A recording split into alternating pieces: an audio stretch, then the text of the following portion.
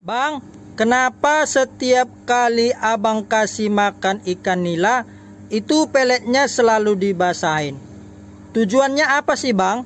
Jadi begini penjelasannya teman-teman. Di dalam kolam saya ini sebelum memberikan pelet kepada ikan itu wajib hukumnya dulu dibasahi atau dibibis. Air yang dipakai untuk membibis pelet juga bukan hanya air biasa saja, melainkan air yang sudah dicampur dengan berbagai vitamin. Dengan membibis pelet, maka secara otomatis pelet tersebut akan menjadi lembut, sehingga memudahkan ikan untuk mencernanya.